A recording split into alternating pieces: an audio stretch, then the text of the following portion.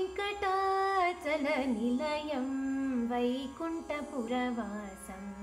वेङ्कटाचलनिलयं वैकुण्ठपुरवासं। पङ्कजनेत्रं परमपवित्रं। पङ्कजनेत्रं परमपवित्रं। शङ्खचक्रधर चिन्मयरूपं वेङ्कटाचलनिलयं वैकुण्ठपुरवासम् अम्बुजोद्भवविनुतम् अगणितगुणनामम् अम्बुजोद्भवविनुतम् अगणितगुणनामम् अम्बुजोद्भवविनुतम् अगणितगुणनामम्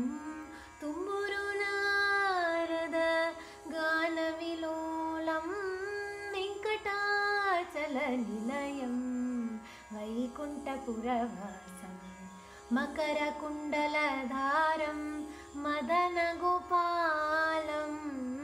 मकरकुण्डलधारं मदनगोपालं भक्तपोषक Shri पुरन्दरविठ्ठलं भक्तपोषक Shri पुरन्दरविठ्ठलं वेङ्कटाचलनिलयं वैकुण्ठपुरवासं वेङ्कटाचलनिलयं वैकुण्ठपुरवासम्